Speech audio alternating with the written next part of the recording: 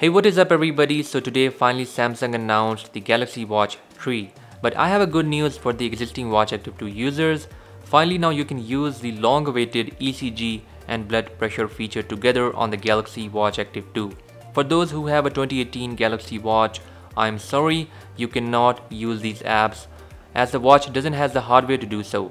Also guys make sure you have the Tizen version 4.0.0.8 on your Galaxy Watch Active 2 because I have seen so many people complaining that the ECG app doesn't work on the Tizen version 4.0.0.7 and to get the latest update just see my video on how to change the region to United States and get the latest updates.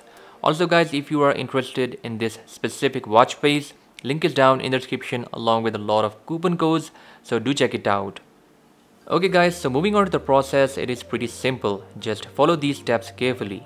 First of all, you have to download some files. Link for all the files are in the description. The first file is the latest ECG and BP TPK that we have to install on our Galaxy Watch Active 2. The second file is the SDB tool and the last file is modified version of the Samsung Health Monitor in the form of APK that we have to install on our smartphone. So before starting you have to make some changes on your Galaxy Watch Active 2. Make sure the developer mode is turned on.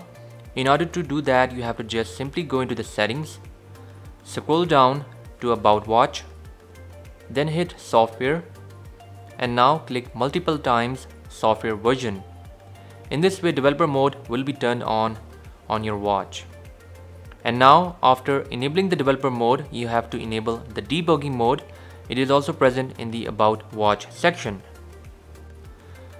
Okay, for the second change, we have to go into the connections, which is present in settings.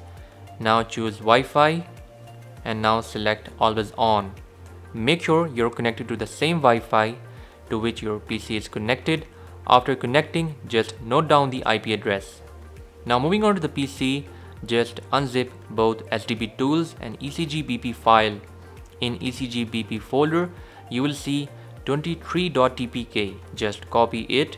Now move to the SDB folder unzip the required SDB file.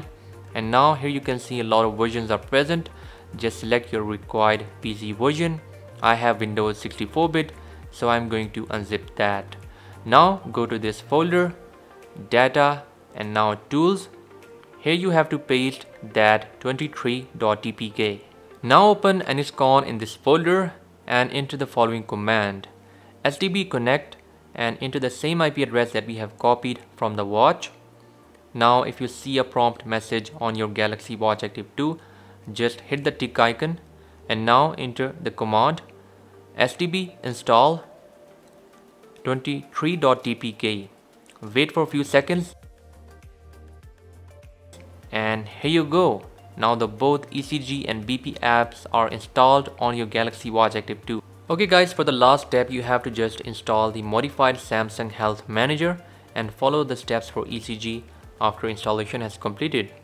Keep your finger on this back button in this way the circuit is completed. Also you can see that now it is working and it is measuring my ECG. We have to wait for some time for its completion so here you go sinus rhythm which means I have a normal heart rhythm. So guys I hope you liked the video. This was it. And make sure you drop a thumbs up on this video. And don't forget to subscribe and I'll catch you guys in the next one. Until then bye bye